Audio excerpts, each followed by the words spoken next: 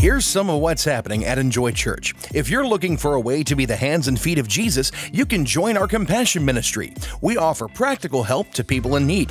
You can find out more at an informational meeting on Sunday, August 29th, immediately following service at both campuses. Reserve your spot in the meeting at the events page at enjoychurch.com or at guest services. Our next EC Women's event is the Ladies' Night of Joy on Friday, September 17th. Come connect with other women for an evening of worship and fellowship. Register to attend on the events page at enjoychurch.com. Sunday, September 19th is National Back to Church Sunday. This is a great opportunity for you to invite your friends, family, and anyone else you can think of to come back to church. Invite cards are available at guest services, so pick some up and bring some people with you on Sunday, September 19th. Download the Enjoy Church app to receive alerts, tithe, give, and attend online. And you can get details on everything happening at the events page on our website, enjoychurch.com.